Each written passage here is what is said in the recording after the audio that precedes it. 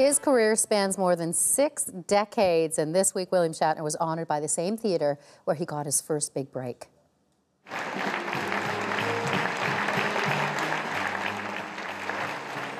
Friends and colleagues presented Shatner with the Stratford Festival's prestigious Legacy Award. The Montreal native spent three years with the Ontario Theatre Company in the mid 1950s.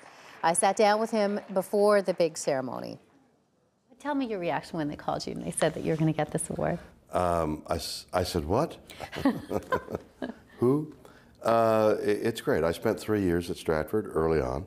I missed the first year uh, because I thought I, I'd had a job. I was in a summer theater, which I'd been to for a couple of years, and and I thought I'm not going to give up that regular job for something that is so weird yeah. in some small town up north of Toronto, and they're going to do a season, and and then it obviously yeah.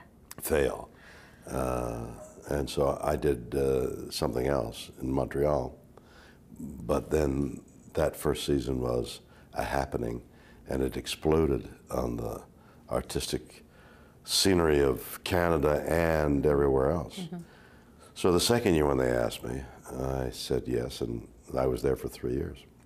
And I mean, you, have been you were in so many different productions, um, Oedipus Rex and Taming the Shrew, and many of them, and then the famous the famous story of you being the understudy for yeah, Christopher uh, Plummer. Uh, exactly, Chris was playing Henry V, and I was his understudy, and um, early early on, uh, we a week or two after we opened, uh, he got momentarily ill, and they asked me if I could go on, and th- there had never been an understudy rehearsal.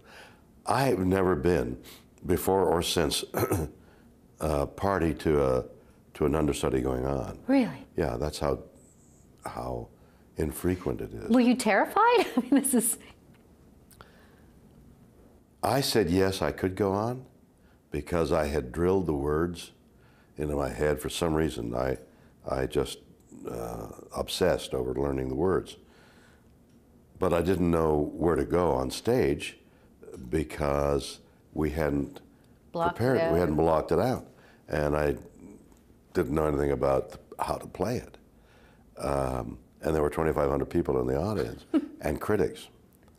And I just, so whether, was I afraid? I was sort of inured. I just, um, I was numb. Went on, great applause, headlines, and I, I can't imagine even thinking about doing it again. Like I, it would be impossible. I'd say, I would say now, I don't know the names of the actors, let alone, uh, you know, and I'm, I've never done the words out loud.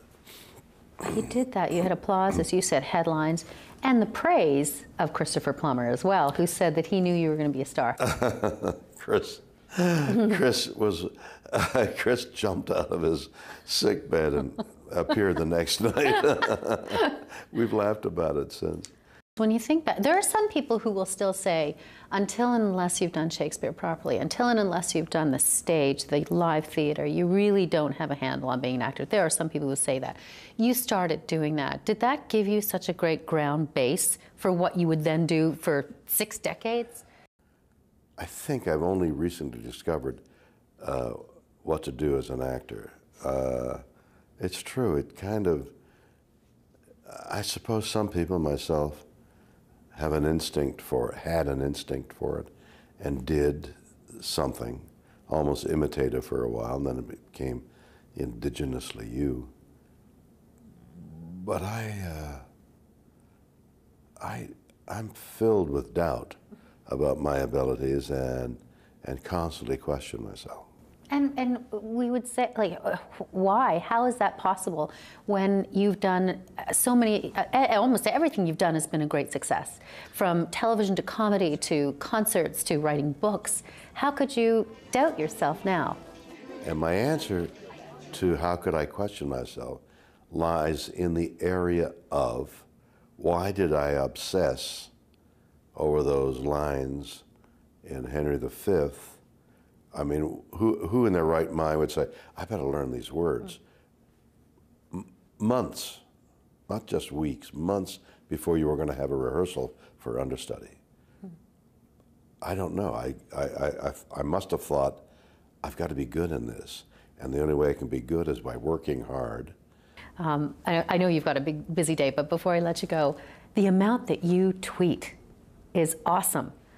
You embrace that. Well, you know, it's modern day. Uh, you can make judgments on how people respond to the in the tweeting area, and you've got a great sampling if you're talking marketing. you've got a great sampling of, uh, you know, in my case, a lot of people. There was one little thread there going on about someone I think asked you if you were going to be twerking during a show, and you responded saying you thought it was banned. I thought, good for you. You're not shying away from any of this. right. Well, you know, if I could shake my hips, if I weren't so stiff. You probably could, and people And would it's an all male band, which is all uh, circa is all four guys. So it limits your twerking. It. It- but, but not your tweeting. All right, not the tweeting. This is awesome. Thank you so much, and congratulations on a well-deserved legacy award. Thank you so much. Yeah, he's a man who completely embraces the craft. In fact, his publicist built in, I was talking to her afterward, built in a two hour lunch break for him. And he took a look at it on the schedule and he said, I don't need that. Just put me back to work. It was just, and that's the kind of guy he is, over 80.